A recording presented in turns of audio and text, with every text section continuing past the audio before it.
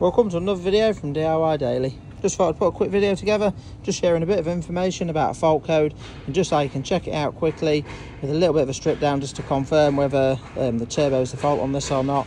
Basically this is a 2015 CX-5, it's the twin turbo. It's quite a common issue on these, basically it's got no low down boost. So it doesn't start boosting until the second turbo kicks in, which is about 3,500 RPM. It has logged the fault code. It's a bit intermittent. Don't always log it until you've sort of sometimes cleared it and give it a decent drive.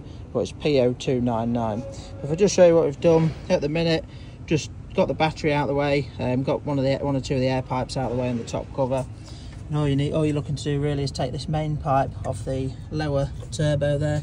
And if you just have a look, sometimes you can use like your Mityvac just to pull a vacuum on it if you can't quite see but it's really clear what's happened on this one as soon as I took that pipe off you can just see the actual cover there it's just completely dropped off can't quite get it out it's sort of too big to get out the hole there but the plate's completely dropped off on the inside there so that's not allowing it to obviously do anything at all so. But as you can see if you've got that fault code and you're a little bit unsure and you're thinking about condemning the turbo obviously if you just take that off and check that it's relatively easy to check it and just be 100% sure that that's the fault so. Yeah obviously fairly big job with this one now. The turbos do come connected to each other so we're going to get a new turbo ordered and get the turbo fitted.